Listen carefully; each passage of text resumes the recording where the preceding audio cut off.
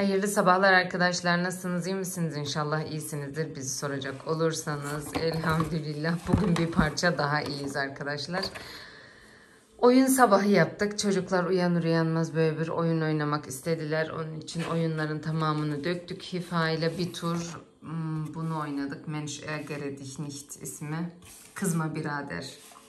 Aynen Türkçesini de biliyorduk biz bunun. Bir tür İfa ile bunu oynadık. Şimdi İfa başka bir oyun seçmeye gitti. Bu da çok güzel bir oyun. Biz bunu da seviyoruz. Yusuf Selim babasıyla öbür tarafta oyun oynuyor. Yusuf Selim hasta arkadaşlar. Onun için birkaç gündür fazla buralarda aktif olamadım. Yani Yusuf Selim ciğerlerini üşütmüş herhalde. Yani ya da birinden, gerçi bu hastalık hep birinden geçiyor. Yani artık nasıl oldu bilemiyorum ama Yusuf Selim hastalandı. Şimdi büyükler hastalandığı zaman gene kendi dertlerini anlatabiliyorlar ama maalesef küçüklerde öyle bir imkanınız olmuyor. Onun için biraz daha böyle bir panik havası var evin içerisinde. Hava tutuyoruz günde 4-5 defa e, ve her seferinde büyük bir dram eşliğinde ilaç içmek biraz Allah'tan ilacı severek içiyor. Kendim de yanı sıra pekmez falan veriyorum. Böyle birkaç alternatif bir şeyler buldum öksürüğe karşı. Onları vermeye çalışıyorum. İlaçlarımız var ama işte yani biraz zor geçiyor. Ateşi var geceli gündüzlü. Yani sabaha kadar sabah 6-7'ye kadar nöbetteyiz. Ondan sonra tekrar ilaç içiyor. O ilacın etkisiyle biraz dinleniyor. O arada ben de biraz uyuyorum. Yani günlerimiz biraz böyle geçiyor şu 2-3 gündür. Hafta sonu da çekmedim. Hafta sonu da başsağlığına gittik arkadaşlar. Çok genç bir kaybımız olmuştu geçen aylarda. Ne zamandan beri gitmek istiyoruz. Ya bizim vaktimiz uyuyor onlarınki uymuyordu. Artık dedik bu hafta sonu görümcemlerle beraber başsağlığına gittik. Sevdiğimiz bir abi ailem yani ailemizden genç yaşta kızı vefat etti. Ona başsağlığına gittik. Yani o da çok üzücü bir kayıp bizim için. Onun için yani öyle de günde çekim yapmak istemedim. Zaten çocuklar da hastaydı. Çocukları anneme bıraktık birkaç saatliğine. Öyle gittik. Ondan sonra dedik hazır çocuklar iyiyken hemen bir de babaannemi ziyaret edelim. Bir daha çünkü gitme ihtimalimiz, imkanımız hastanede olmaz. Pazar günü de zaten doktorlar olmadığı için yani bir yere de götüremezler. Yani görmeme ihtimalimiz hiç olmaz. Öyle olunca pazar günü hem başsağlığına gittik hem de babaannemizi ziyaret ettik. Herkesi yar biraz biraz gönlünü almış olduk. Yani öyle bir aile günüydü bizim için pazar. Sonra da zaten eve geldik. Yusuf Selim iyice kötü oldu.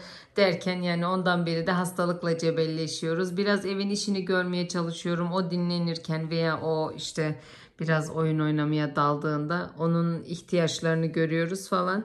Günlerimiz böyle geçiyor. Biraz şey bir haldeyiz. Perişan bir haldeyiz ama çok şükür çok böyle ağır bir durumu yok şimdilik. Yani daha ciğerinden öyle bir hırlama yok. Onun için yarın her yer açık olduğundan yarın doktora götüreceğim sabah erkenden. Yani arkadaşlar böyle küçük bir e, şey yapayım, açıklama yapayım dedim. Soranlar oldu neredesin, nerelerdesin, niye video gelmiyor diye. Hem dedim böyle küçük bir açıklama yapayım hem de yani şu anki durumumuzdan biraz bahsedeyim istedim. Öyle yani arkadaşlar yaptığımız çok da bir şey yok. Burada resmi tatil yani her yer kapalı. Yılbaşı Noel'den dolayı her yer kapalı. Pazardan beri pazar zaten normalde de kapalı olur burada ama pazartesi ve salı da bugün de e, her yer kapalı. Yarından sonra normal işler devam edecek. Kreş ve okullar tamamen kapalı. Zaten iki hafta kış tatiline girdik biliyorsunuz. Öyle yani çocuklar da evdeler. Şimdiye kadar pek bir şey yapamadık. Onun için evin içinde böyle oyunlarla falan veya el işi kağıtlarıyla bir şeyler yapmaya çalışıyoruz. Çocuklar istedikleri müddetçe.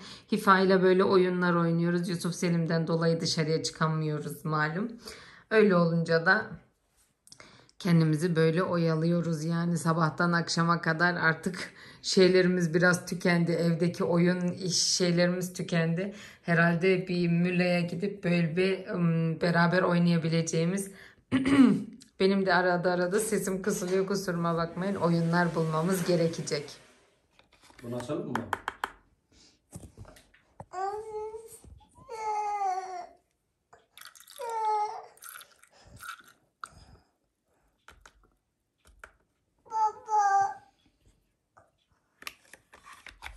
Bunu?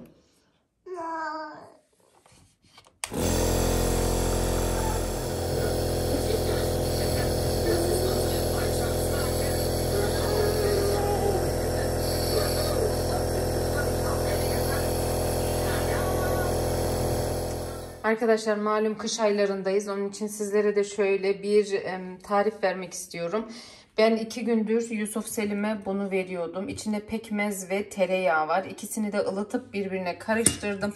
Ve bunu şırıngaya çekip ağzına ilaç diye veriyordum. Şimdi bunu artık biraz sıkılmaya başladı herhalde. Onun için bunu şimdi sütüne karıştıracağım sütüyle beraber içsin bunu. Ee, bunu tekrar yapmayacağım. Zaten iki gündür sürekli böyle bir öksürüğü kabardıkça bunu veriyordum ve gerçekten de çok memnun kaldık. Öksürüğünü baya baya e, hafifletti. Yani bunu da tavsiye edebilirim. Dün arkadaşım bir tarif verdi. Şimdi onu beraber hazırlayalım. Bunu daha denemedim ama soğan ve balın etkisini yani ben senelerdir hifaya hep hastalandığında öyle geçiriyoruz. Antibiyotikler falan fayda etmediği zaman soğanı balla karıştırıyorum, bekletiyorum. Daha sonra bir gün falan bekletiyorum. Soğan suyunu bıraktığı zaman içindeki soğanları alıp karıştırıp onu öyle ilaç gibi veriyordum. Şimdi bu tarifi de arkadaşım yolladı. Yusuf Selim'in kokulara karşı biraz daha hassas olduğu için her şeyi içemiyor demiştim. O da bana şimdi bu tarifi yolladı. Bunu deneyeceğim şimdi de. O kadar soğanlı bal kadar da çok kokmuyor dedi. Beyaz soğanlarımı geceleri başucuna Yusuf Selim'in karanfilli soğan koyuyorum. Onun da fotoğrafını birazdan koyayım.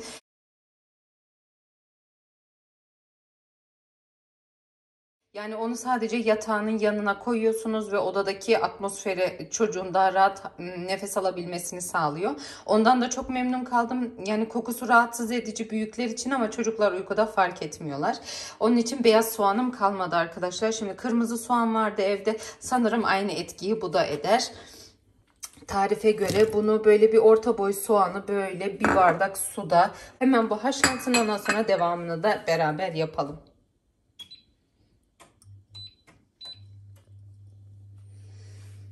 Şöyle altını da açtım. Şimdi bu hemen bir kaynasın. Yani 10-15 dakika kaynatmamız gerekiyormuş. Ondan sonra devamını da beraber yapalım.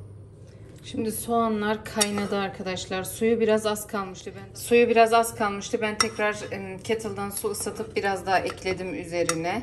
Şimdi bal özelliğini kaybetmemesi için bak bunu da söylemeyi unutmayayım.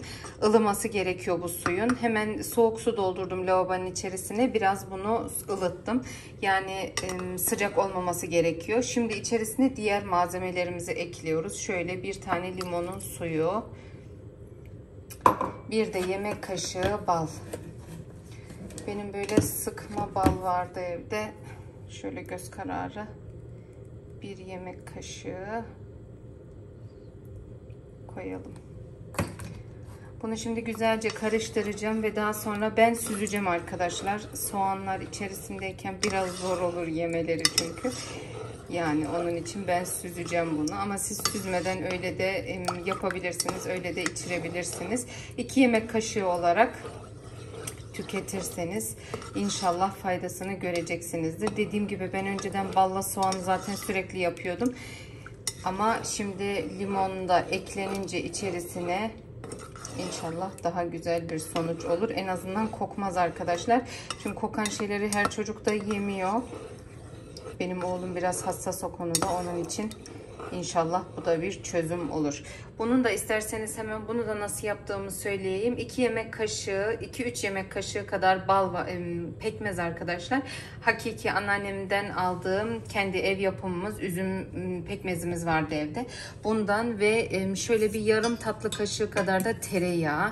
Onların ikisini kaynatmanıza gerek yok. Sadece ayrı ayrı yerlerde ılıtıp daha sonra birleştiriyorsunuz. Ben şimdi sonradan tekrar kullanabilmek adına bunun içerisine koydum. Ilık su kaynar suyun üzerine oturtturuyorum ve buhar banyosuyla bunu tekrar ılıtıp veriyorum. Bakalım eğer içmek isterse tekrar bunu da verebilirim ama yani biraz sıkıldı artık bunu içmekten herhalde. Şırınganın içine böyle kahverengi görünce böyle bir nine falan diyor. Onun için şöyle bir alternatif değişik bir tarif daha denedim. İnşallah bunun da faydasını görmeyi umut ediyorum. Malum hastalıklar iyice yardımcı olabilmişimdir. Yani denemenizi tavsiye ederim. Gerçekten doğal, çok güzel çözümler. İlaçları malum bazı saatlerin haricinde veremiyorsunuz. Ama onun haricinde bir öksürük kabardığında böyle alternatif şeylere de yani yönelebilmek çok güzel oluyor. Benden de size küçük bir tavsiye olsun. Soğan, karanfilli soğan onun çok faydasını gördük. Akşamları uyuturken yani böyle öksüren çocuklarda başını biraz daha dik bir şekilde yatırıp yani yastığını biraz daha yüksek tutup arkadaşlar cam açık bir şekilde odada böyle şeyin daha havanın daha iyi olduğu bir ortamda uyuttuğunuz zaman böyle öksürük nöbetleri biraz daha hafifliyor. Yani bunu da sizlere bir tavsiye olarak söyleyebilirim. Yani muhtemelen çoğu yerde duymuşsunuzdur ama duymayanlar için bir hatırlatma daha olsun. Yani çocuğun tam üzerine gelmeyecek şekilde ayarlayabilirseniz camı daha iyi olur. Ben şimdi Yusuf Selim'i 2-3 gündür kendi yanımda yatırıyorum. Cam biraz daha arka tarafta kalıyor. Üzerini de güzelce örtüyoruz. Yani biraz daha iyi bir şekilde uyuyor yani geceleri çok öyle bir öksürük nöbetimiz olmuyor. İşte gündüz vakti biraz kabarıyor öksürüğü. Onu da her 2-3 saate bir hava tutuyoruz. İnşallah daha iyi olmasını ümit ediyorum. Yarın doktora götüreceğim. Bakalım hayırlısı arkadaşlar. Benden bugünlük bu kadar. İnşallah beğendiğiniz bir video olmuştur. Beğendiyseniz beğenip abone olmayı unutmayın ve bir sonraki videoda görüşmek üzere. Hepinize hayırlı, sağlıklı, sıhhatli günler diliyorum arkadaşlar.